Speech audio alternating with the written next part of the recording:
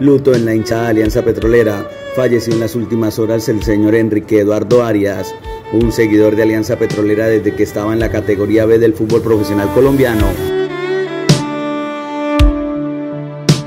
Arias acompañaba al equipo de sus amores cada miércoles y domingo desde el estadio Daniel Villa Zapata.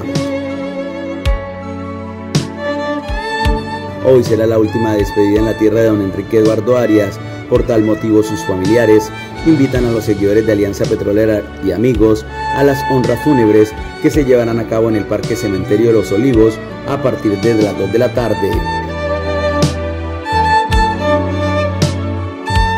Desde Enlace Noticias y Enlace Televisión le enviamos un saludo solidario a todos sus familiares.